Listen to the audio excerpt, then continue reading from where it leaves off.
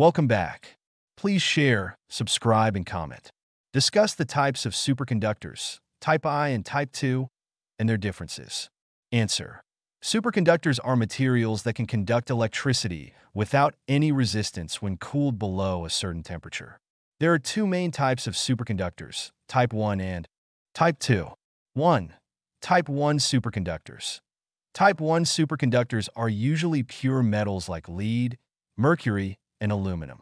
They exhibit perfect diamagnetism, meaning they expel magnetic fields from their interiors when they become superconducting. Type 1 superconductors have a critical magnetic field, beyond which they can no longer superconduct effectively.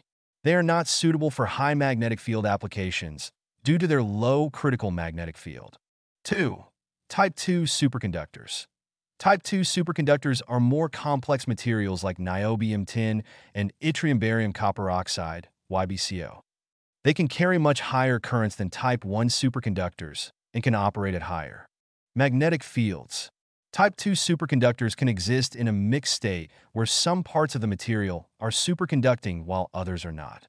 They are more practical for applications like MRI machines and particle accelerators due to their higher critical magnetic fields.